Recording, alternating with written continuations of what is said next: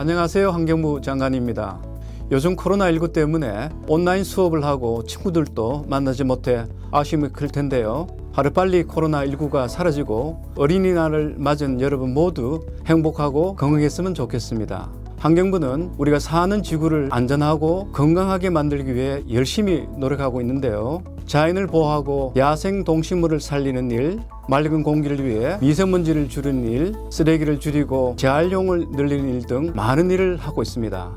여러분이 함께 노력하면 더 깨끗한 지구, 마음껏 뛰놀 수 있는 지구를 만들 수 있습니다. 오늘 여러분을 위해 작은 선물을 준비했는데요.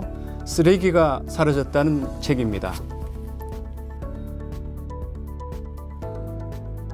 우리가 버리는 쓰레기가 어디로 가서 어떻게 처리되는지 쓰레기를 만들지 않을 방법은 없는지 같이 생각해보는 책입니다. 어린이 여러분도 쓰레기를 줄이는 좋은 방법이 있다면 언제든지 환경부에 알려주세요. 지구를 살리는 멋진 친구들이 되기를 환경부가 응원할게요.